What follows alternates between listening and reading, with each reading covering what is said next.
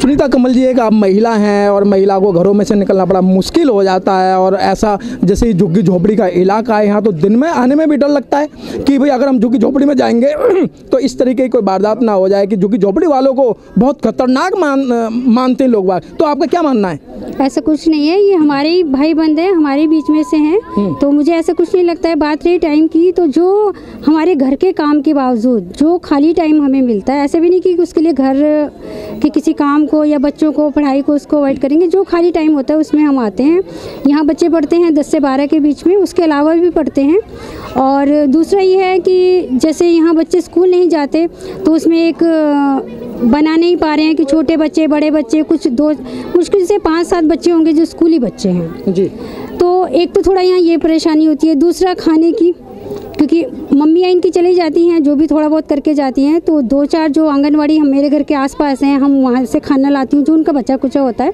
मैं हूँ और साथ में राज है तो हम लोग वो लाते हैं, वो यहाँ बच्चों को डिस्ट्रीब्यूट करते हैं। बाकी जो हमें और लोग हमें यहाँ मदद देते हैं, वो हम बच्चों तक पहुँचाते हैं।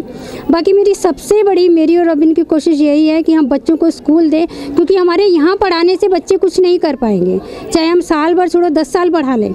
जब तक उन्हें स्कूल नहीं मिलेगा तो ज़ाहिर है कि उनका यहाँ पढ़ना एक सीख तो जाएँगे पर एक जो लाइफ को आगे ले जाने वाली मोशन है वो तो उनको नहीं मिलेगा। लेकिन सुनीता जी ऐसा है ना कि यहाँ जो सीखेंगे और फिर इनको आप प्राइमरी स्कूल के अंदर लेके जाएँगे बच्चों को तो वहाँ जो एडमिशन में किसी तरीके की कोई दिक्कत है तो ये बताएँ कि हमें ये दिक्कत होती है। एडमिशन की यही दिक्कत है। सबसे बड़ी दिक्कत ये है कि जो प्रूफ वाली बात।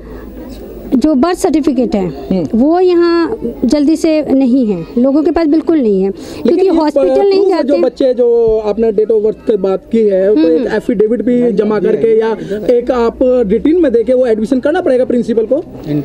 ये जो बराबर में हमारे स्कूल है रंगपुरी पहाड़ी का यहाँ प्रिंसिपल के यहाँ हम खुद गए थे तो उन्होंने बोला कि जो जो फॉर्मेलिटी है वो जब तक पूरी नहीं होंगी तब तक बच्चों का एडमिशन नहीं होगा। ये प्राइमरी तो ये आधार कार्ड तो हर हाल में चाहिए।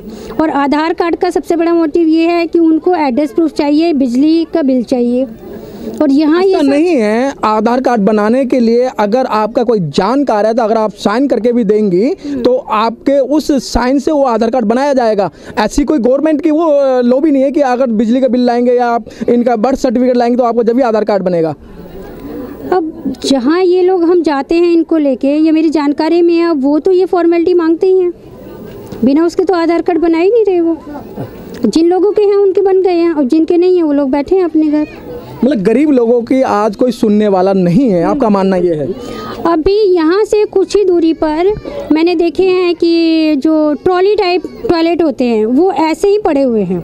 जबकि उस तरफ़ उन लोगों के घर में भी हैं। लेकिन यहाँ के लिए यहाँ के लिए हम लोगों ने कई बार कोशिश की कि कुछ इस तरह से हो जाए। वो भी यहाँ तक अगर कोई जो भी हमारे बीच आए हुए हैं चाहे वो किसी विभाग से हो आम पार्टी से हो किसी से भी हो अगर वो तक भी यहाँ इन लोगों को मिल जाए तो इन्हें बहुत सुविधा हो जाएगी। सुनीता जी मेरा लास्ट क्वेश्चन कि जब ये इस तरीके काम करते हैं आपके जो आपका जो परिवार है आपके हस्बैंड है उनका क्या रवैया आपके साथ में? नहीं बहुत अच्छा है वो अभी मेरे साथ आए हुए हैं। आप देख सकते हैं। वो मतलब आपकी हेल्प करते हैं? बिल्कुल। और जैसे कि अभी कहीं रात बरात हो जाती है कि बच्चों के साथ इन्हें पढ़ाने बनाने में तो उनका क्या रवैया रहता है? एक होता है कि नहीं मैं घर से नहीं निकलना है। बाबा साहब ने वो आपको अधिकार तो दे दिए। जी। लेकिन आजकल कहते हैं महिला सुरक्षित नहीं है एक महिला बोल रही थी। नहीं मैं तो सुरक्षित हूँ। मैं तो कभी भी चले जाती हूँ। मतलब पूरा परिवार लगा हुआ है। बिल्कुल।